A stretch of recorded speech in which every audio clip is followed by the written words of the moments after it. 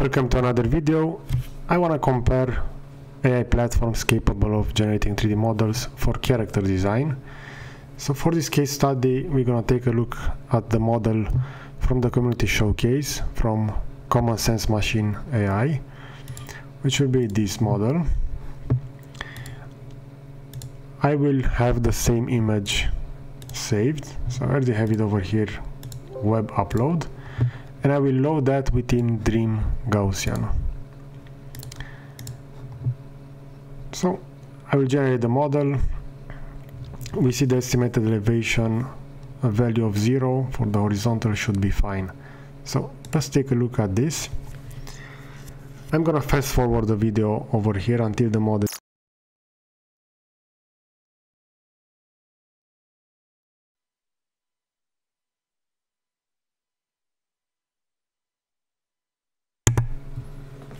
we have the preview mesh ready. As we can see over here for the second processing this will take a lot uh, less time than for the chair study that I did previously within my video.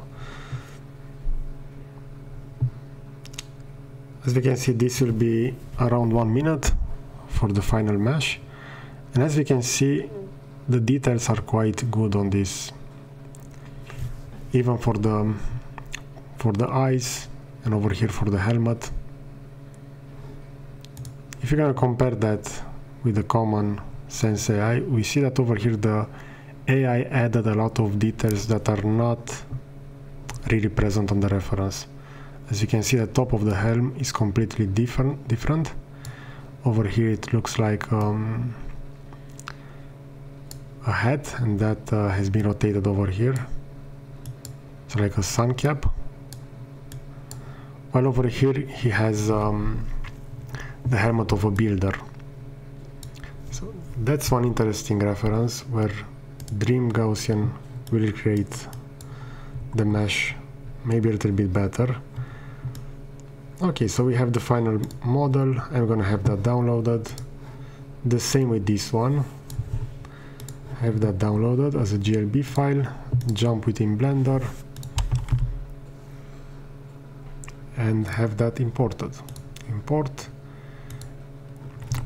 Okay so it's not a FBX it's a GLB and from the downloads we're gonna have the mesh GLB which will be this one and I will import also the second one which will be this one. so I'm just gonna slightly move them apart. I will enable texture and we're gonna have those two meshes. So the one using Dream Gaussian we see that the texture is not that high detailed and we see a lot of uh, texture painting going on over here.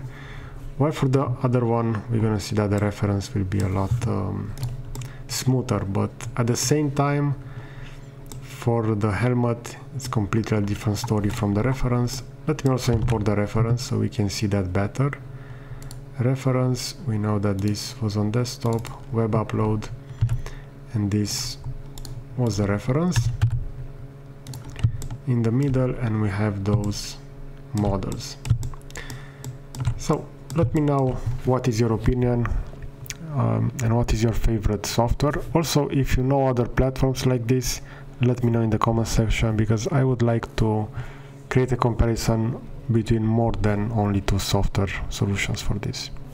So if you enjoy this content, I will position a similar video over here to the left and a subscribe button to the right. Thanks for watching.